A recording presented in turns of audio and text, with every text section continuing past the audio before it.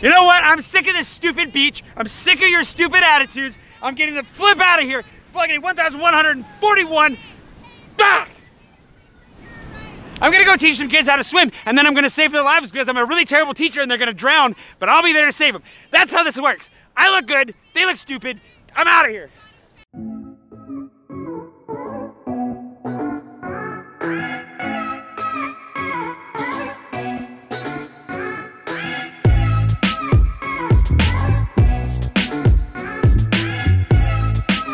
What? No, we're in like storage, aren't we? Oh, okay. Good morning.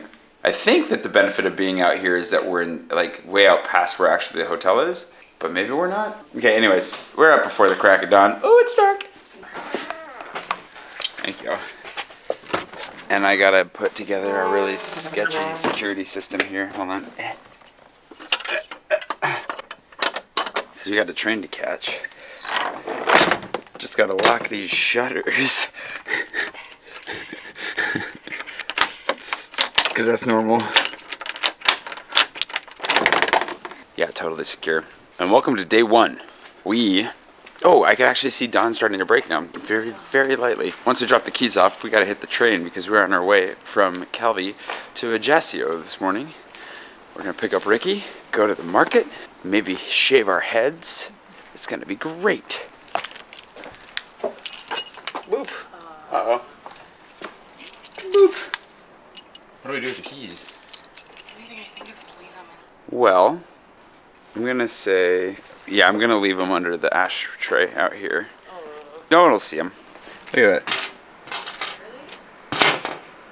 Oh, maybe they will. Dang it. Okay, I'm, you can stay here if you want. If you, You're gonna leave me. oh, disappear. All right, I'm gonna hide these on the table. Then I gotta send them a message on Airbnb. We're gonna jump on the train. This is just a ridiculous way to start out the morning. Look how sketchy this is. Like, I'm going back to this dark, shady corner. Put this. Where am I gonna put him? There's nothing to hide him under, really. Ooh, that was spider webby. Ugh. There we go. Rock. Gonna have to let them know where I hid it. That's pretty obvious, but hopefully nobody unintended discovers that. All right, with that weird rocky start to the morning, let's get the flip out of here. Oh, speaking of being left, where'd Jenica go? There she is.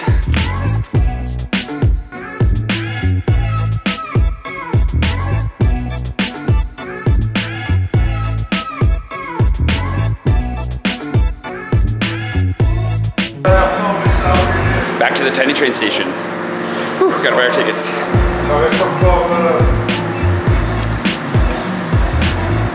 Croissant, a chocolate croissant. Sure. Be right back. All right. I am on a croissant mission now. we have 14 minutes before the train leaves. I think that's enough time to get a croissant. Jenica's gonna go save seats. I have no idea where on the train, but um, she wanted a croissant and a pain au chocolat. I'm willing to take that risk and maybe I'll get one myself.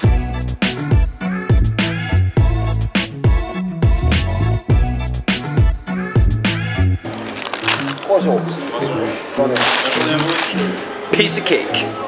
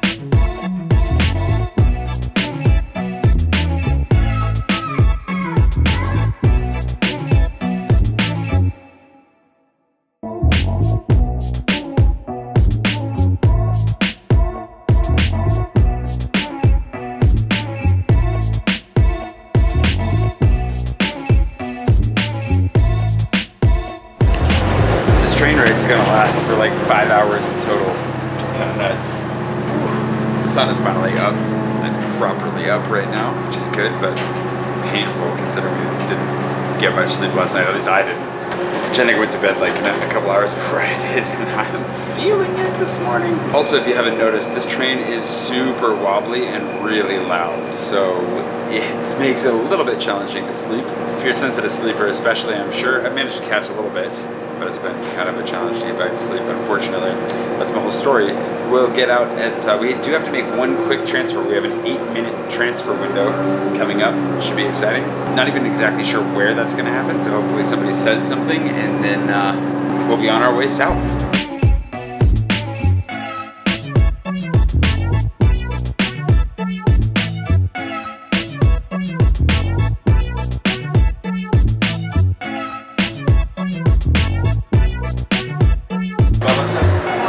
All right, time to get out of here.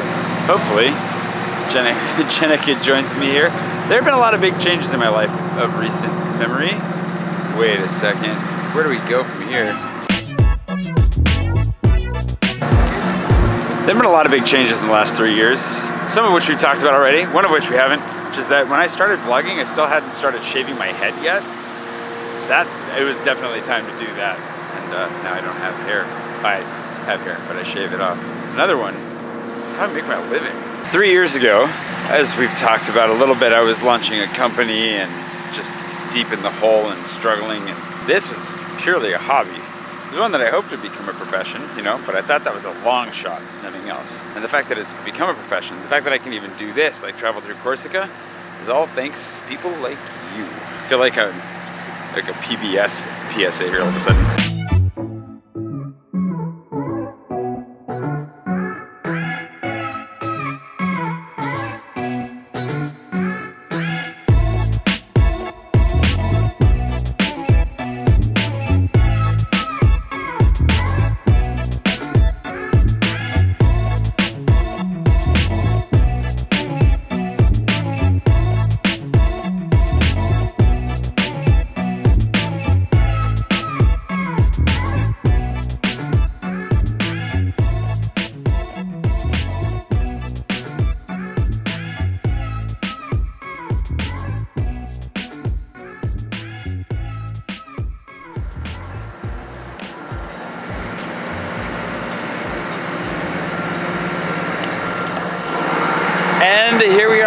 Perfect, Ajaccio.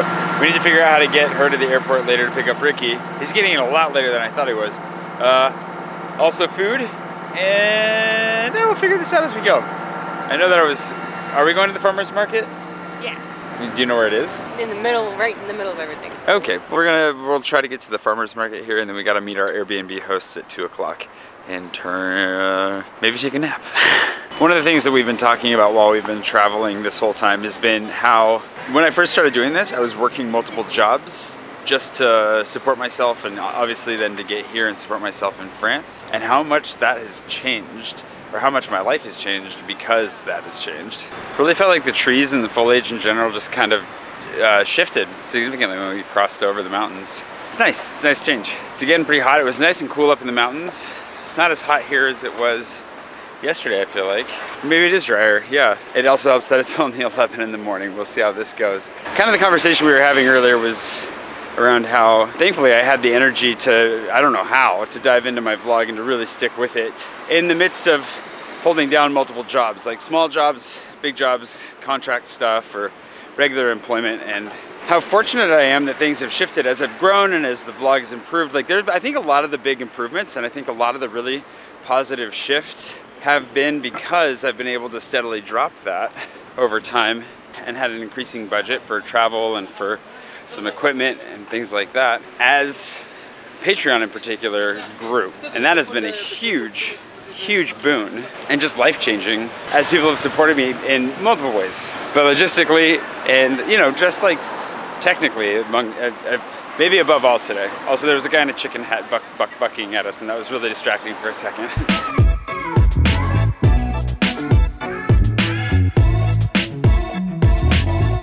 Okay, but before we walk for the next 15 minutes to get to the uh, farmer's market, coffee. We haven't had any of that yet today. I forgot that. Jeez. Now my function.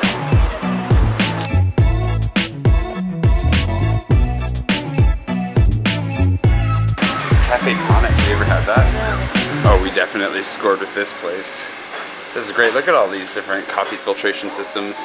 So it turns out Ajaccio has a spot. It's called Carpe Diem. I got a cold brew. Oh, and I'm really ready for it.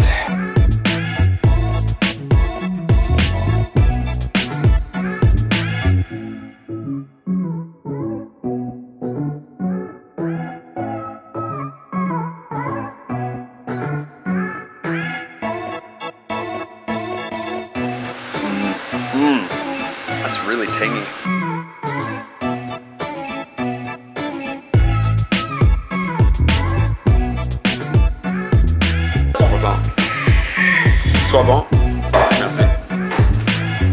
Two rounds of coffee here. That was not the cold brew was really good. The the tonic was delicious, but uh, whew.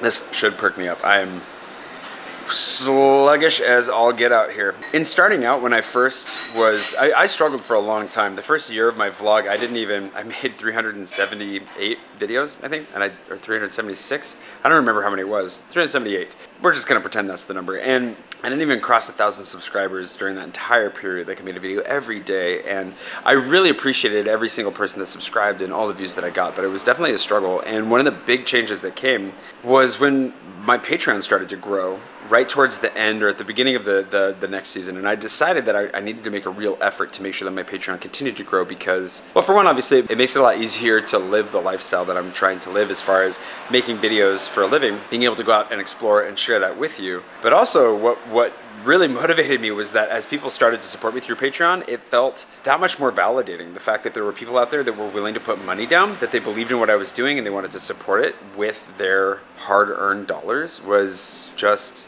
it was it was shocking in the best way possible. It was validating, it was motivating. It was one of those things that I don't know, every time somebody joined Patreon, every, every time someone joins Patreon, it's like a little little shock to the heart in just such a great way that I'm not saying that without that I wouldn't have been able to keep going, but basically without that I wouldn't have been able to keep going if it wasn't for Patreon, both financially, but also just for that emotional support and validation from people outside myself, people outside my circles that wanted to support me and keep my vlog alive. Was massively important.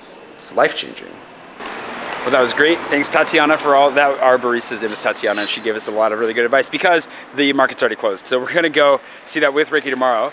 Also, not gonna wait for Ricky to cut my hair. I think I'll do that this afternoon. She gave me some ideas for that. Although I'm not really sure. Did she write that down? She's right She's over right over there. there. Okay, hopefully it's over there. Yeah. So we're gonna go see Napoleon's house now because this is where Napoleon's from, and then wander over to Airbnb because we're meeting them in about 50 minutes. Drop our stuff off and then go get lunch, which we're gonna go to an Italian place she told us about because it made her squeal with joy just to hear the name. Doesn't so take much. that's just because you're such a joyful person. What can we say? yeah. Okay, let's roll. Yeah.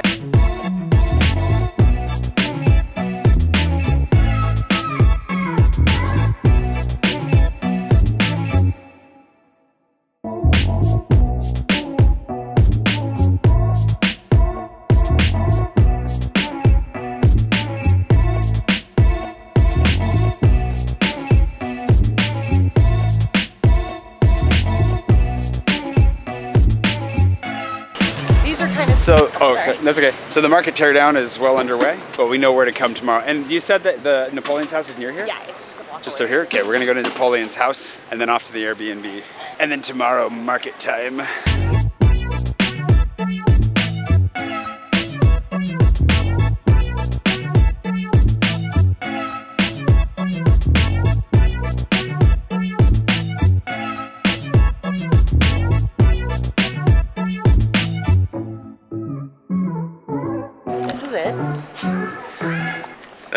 You have more to?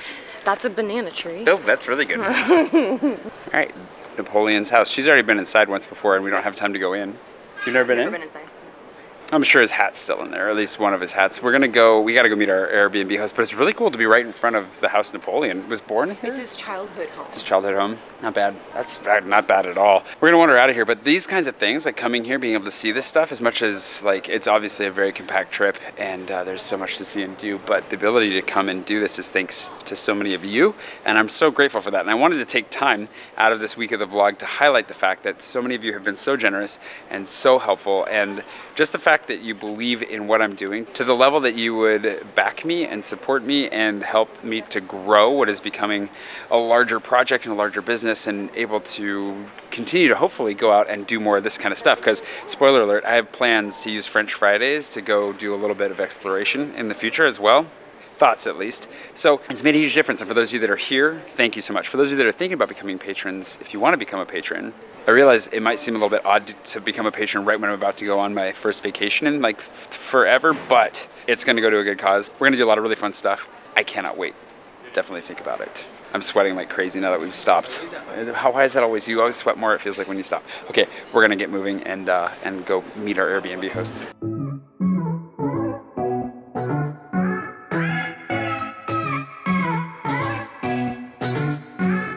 But something else I've talked about with all of that is that there's this incredible release. I've heard recently in the comments, those of you that are going back and watching from the beginning or watching older vlogs, just seeing the stress be removed from my face and the how much I've changed physically and emotionally. It's kind of interesting to hear because I definitely feel like that's the case and it's coming along, but I saw it happen in small ways along the way and, and in other ways, I think it just hit me where I was like, oh my goodness, I can just do this, this is my job and I'll be okay. Things like that were among the most incredible and freeing moments of my life. I only wish we could all be focused on doing things that we love and be able to support ourselves doing it. And I'm so grateful that I can count myself among those people. Very, very lucky. Also look at these flowers. Also Jenica's lost. Sorry, did we did we miss a right? No, we're gonna Okay. turn right here. Which flowers?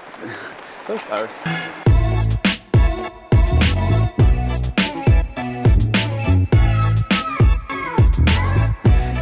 We just got into our Airbnb. It is amazing. I'll show you at the very end of the video or tomorrow morning, depending on how much time we've got left. But for right now, we need lunch. It's like 2.30 or 3 o'clock. We haven't eaten anything more than a couple of uh, pastries. And I did have half a quiche this morning that I had the other half last night. So, and you had a ton of I had yogurt. four yogurts. little little pops. Waste not, want not, as one of our grandparents, I'm sure, said at one point or another. So, what we're gonna do now is uh, walk back into that Italian place that she wanted to hit. I'm gonna get my head shaved so I'm ready for the rentrée to Paris and um, just get a couple of shots of Ajaccio. I have a feeling, or Ajaccio, Ajaccio, Ajaccio. I'm, I'm not going to pronounce it properly, apparently. But yeah, we're going to go have lunch and bop around. Uh, she'll end up having to go get uh, Ricky, which will take her a while. And I have a bunch of work that I want to get done this evening because I realized how far behind on emails and everything else I was last night. I had to stay up really late uploading because the upload speeds at the hotel were so terrible that like I, I had to leave our apartment and go out and sit in front of the hotel itself just to get it to work. And it still took about an hour and a half, I think, in total.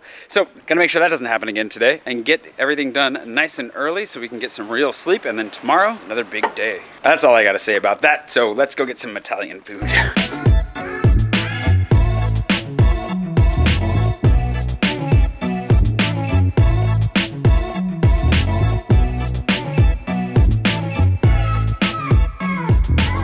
And of course, my patrons voted for me to have, uh, what was it, the uh, chestnut liquor? The chestnut liquor that's local to the area. This place doesn't have it. I was gonna have it here, so I'll have to find it later. I mean, when Ricky gets here, we should go out for a drink Oh, anyways. also they'll give you samples of it at the farmers market. Oh. We'll get it one way or another. The chestnut liqueur. For those of you that are wondering what's going on, my patrons get to vote on random stuff that I do, which we're going to be changing up a little bit in the near future, and I'm looking forward to figuring out all of that. But in the meantime, uh, they voted for me to have this liqueur of all the local specialties that I could try. That was the winner.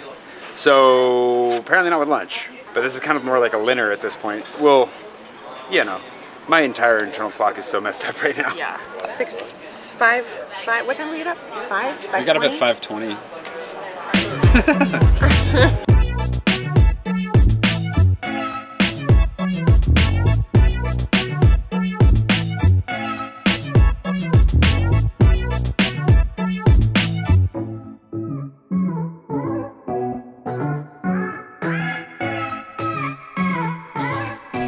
Microphone is off.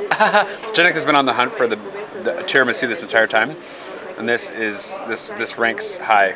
How high? It is up to my standards. it's as good as my own. Let's get let's this this this this has got to go. And if you're like, what has got to go? I'm talking about the sides, but a little bit at the top. But yeah, don't pick on me.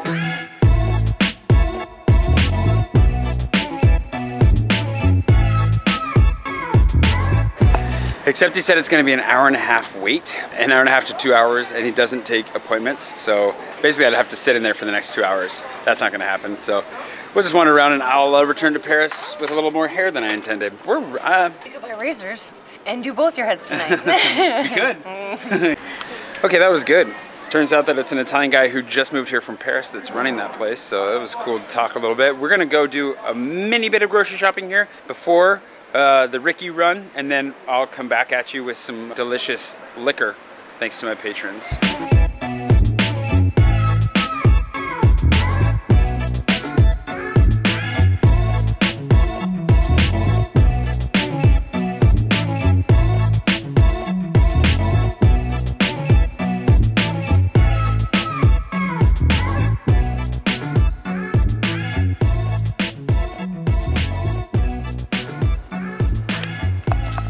Might notice that it's a little bit dark outside. The lighting is a little bit harsh in here at the moment. That's because we've been waiting for Ricky to show up and unfortunately his flight got delayed. I think multiple times. There have been no clear answers. Jenica went to the airport. She's waiting for him there. We don't know when he's going to arrive. We don't even know if his flight's taken off. I think it's taken off now. Theoretically, he should still get here around 9:30. Not sure that's gonna happen. Anyway, I was hoping to share the liqueur with him. I'm gonna hold on to that for tomorrow. We can have that tomorrow in the farmer's market. We're gonna get that. So, and for those of you that are like, what? There's another video tomorrow? Of course there's another video tomorrow. I can't just stop here. I gotta have a full season plus one, because that's the kind of crazy I am. So one more episode, day zero tomorrow. Thanks for hanging out with me today. I hope you had a wonderful time here in Corsica. I know we did. And I'll see you bright and early tomorrow morning for, you know, just a regular old day in the neighborhood. See for that.